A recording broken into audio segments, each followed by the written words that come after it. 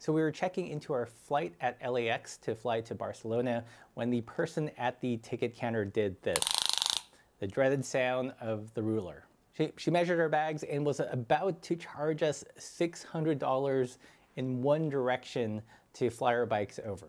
We managed to avoid it, thankfully, but that gave me the idea of sharing some bike travel tips, flying with your bike if you're going abroad, that we've learned over the years and hopefully will help you out on your bike travel. The first one, let's get this one out of the way, is to definitely know your airline's policy. Flying to Spain, we took Delta, which in the last few years has become more bike friendly and it's in their policy that bikes don't incur any extra fees. This is relatively new and a lot of the people that work on the ground aren't aware of these policies, so definitely print it out, have it on your phone, and be ready to have a friendly discussion. Uh, thankfully, Laura brought this up and the person at the counter spoke with uh, her manager and at the end of the day we were charged uh, nothing extra for flying with our bike, just the typical checked baggage fee, which I think is like 30 or $40. The next big tip is to practice assembling and disassembling your bike at home using the tools that you're gonna have with you at your destination. For example, you don't wanna practice taking your bike apart and putting it back together with shop tools, but instead the actual multi-tools or whatever tools you're gonna bring with you.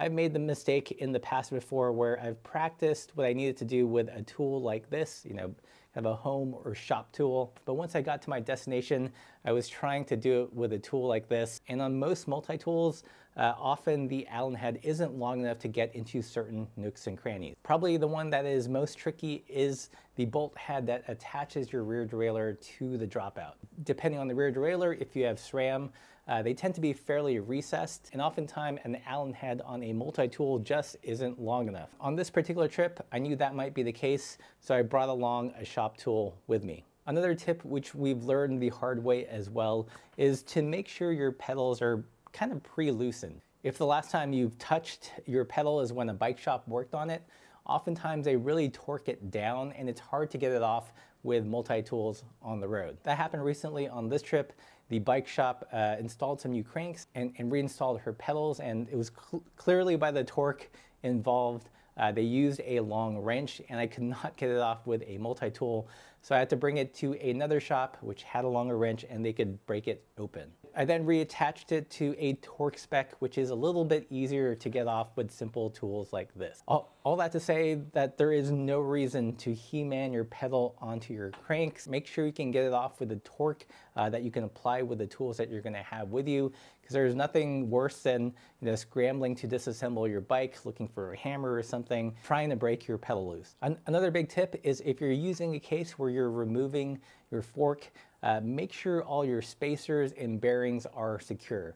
I had a little bit of a freak out uh, on this trip when I was assembling my bike because although I had all my spacers on the steer tube, I left the bearings in the bearing cups in the headset and they weren't secured and the top bearing uh, came loose. So when assembling my bike, I spent a frantic 20 minutes uh, looking for it in the case. I had the fear that the TSA agent opened up the case and somehow, uh, you know, my bearing came out, rolled on the floor, and they didn't bother putting it back in there. All that to say is secure all the spacers on your fork or use some zip ties and run it through the head tube to make sure all the bearings stay in place. The next tip is when you put your bike away, make sure you have uh, these plastic stand-ins for a through axle or a quick release, whatever your bike is using. The TSA people probably don't care about your bike as much as you do, and they're gonna be putting heavy stuff on your bike case. What you don't want is your frame or your fork to get compressed. So by having these plastic things, it will ensure that your fork doesn't get squished or your spacing doesn't get messed up in the rear. Usually this comes with new bikes, so it's worth it to call up your local bike shop. Uh, if they're assembling bikes and they have a couple of these laying around, just grab them. The, the next big tip is to use AirTags. If you're in the Apple ecosystem, uh, if you're Android, use whatever is equivalent. I've heard of way too many stories of people whose bikes got lost in transit. And, and while this doesn't do much if your bike doesn't make it on your plane, by using an AirTag or some kind of tracker, just gives you a little bit more peace of mind uh, to know where your bike is. That said, these are not completely foolproof.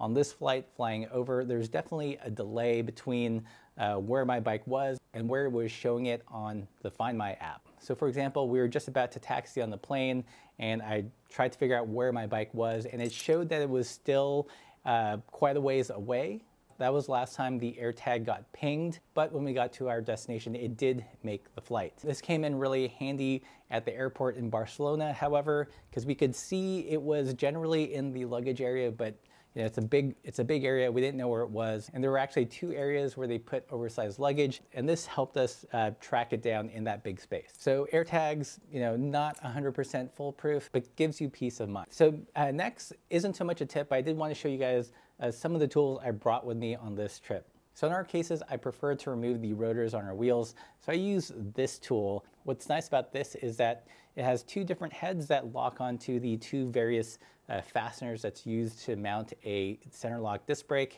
This side opens up the center locks where it uses kind of a, a bottom bracket style uh, lock ring. And this side works with freewheels as well as the lock rings that use that kind of style uh, attachment. Like I mentioned, I also brought a three-way tool.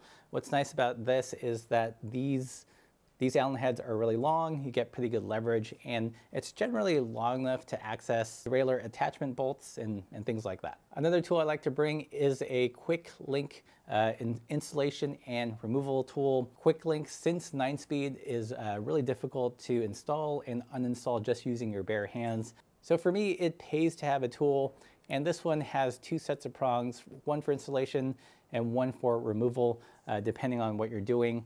Not all quick link pliers uh, have this. Some are just for removal only. I find that I still like using a plier for installation because it's real like affirmative click. Speaking of quick links, I brought some spares. I like the KMC ones uh, because these are reusable. Supposedly the Shimano and SRAM ones are single use only, which I think is super wasteful.